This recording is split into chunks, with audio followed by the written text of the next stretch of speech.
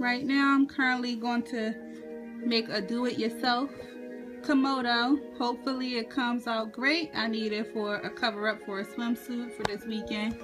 And this was the end result of the kimono. I simply love it and it's super gorgeous and elegant.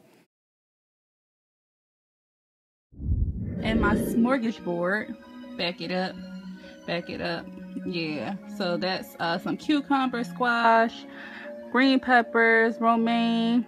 I got uh, some okra, berries, apples, and that is a kale arugula little toss mix that I made with some coconut lime dressing. All from scratch, all raw, raw vegan life. Yeah, yeah, yeah, I gets it done.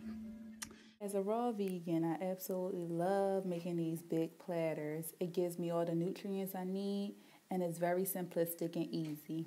Okay guys, dance break. Bam, bam, bam, bam, bam. Hey. Peace.